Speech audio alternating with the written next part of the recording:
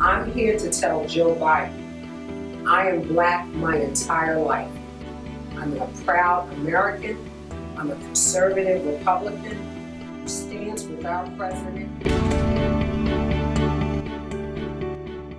Republican women of Baltimore County invite you to a political discussion on African American outreach and engagement.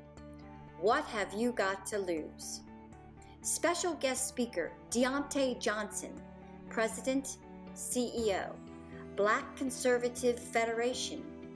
Our distinguished panelist, moderated by Dr. Tony Campbell, Second Vice Chair, MDGOP, Brandon Cooper, First Vice Chair, MDGOP and MDBRC, Maria Vismail, Candidate, Baltimore City Council, 5th District, Chris Anderson, Candidate, Baltimore City Council, 7th District.